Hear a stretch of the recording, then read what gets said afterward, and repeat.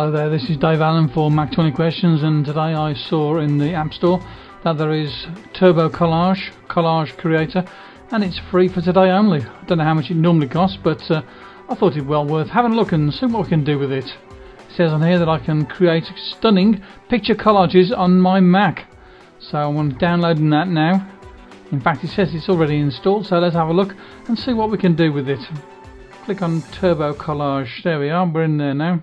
Well, I can go full screen with this, but I won't for the moment. What I'm going to do is I'm going to use Cinch. And I'm going to make it go sort of full screen. Sort of full screen that you can use where you can still see the menus and everything else as well, and it's easier for dragging and dropping things in. What do we do to get started with it? I don't really know. Well, let's try first of all with dragging a couple of pictures in there. So let's go to Finder.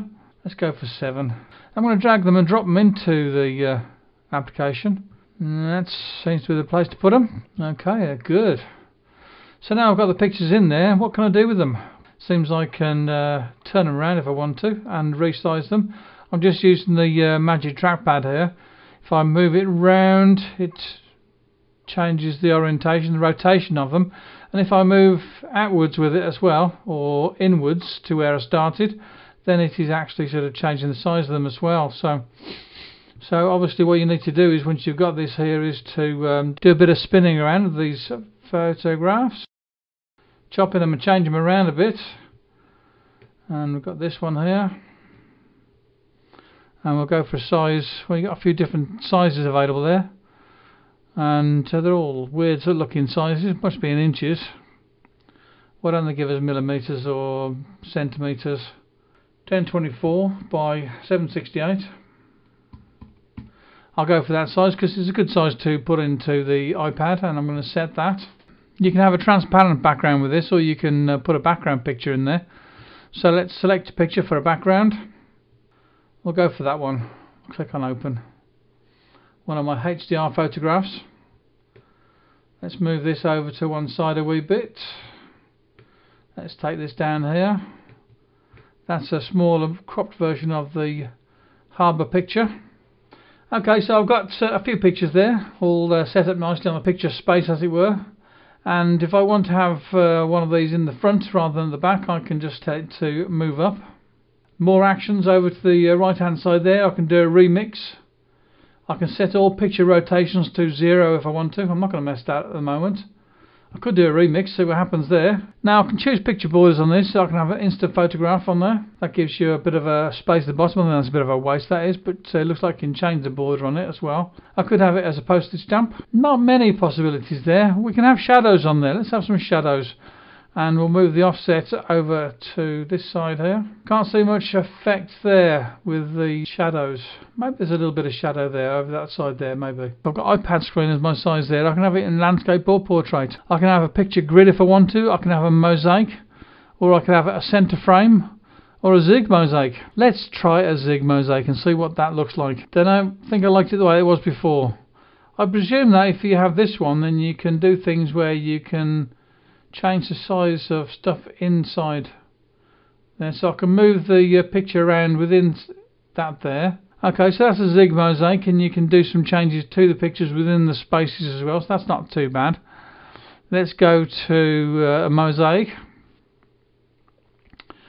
We've got the uh, corners on here as rounded corners but you can use this one here to make it go to uh, uh, non-rounded corners and you can also change the spacing in between those two. So you could get rid of the spacing altogether. You could go for a completely transparent background if you want to.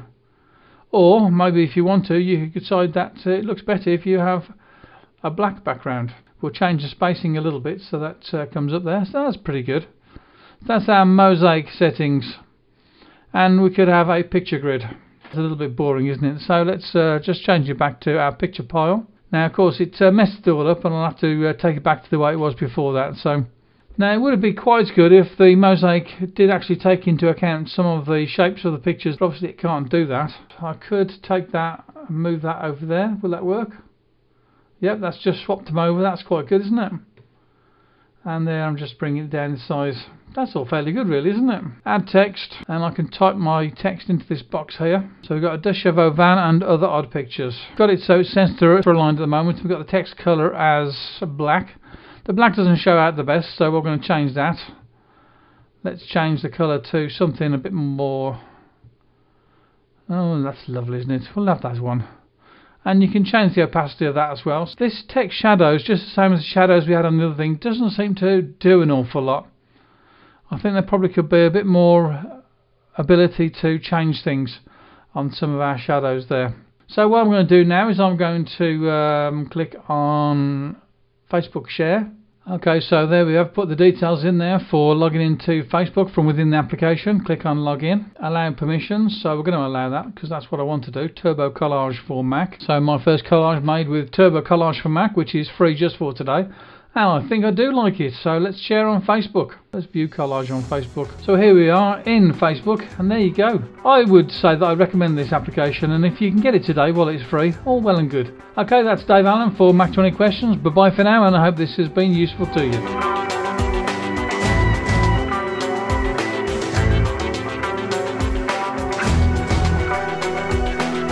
Don't forget to subscribe to the Mac 20Q videos so that you know when the next ones are due to come out. Bye bye now.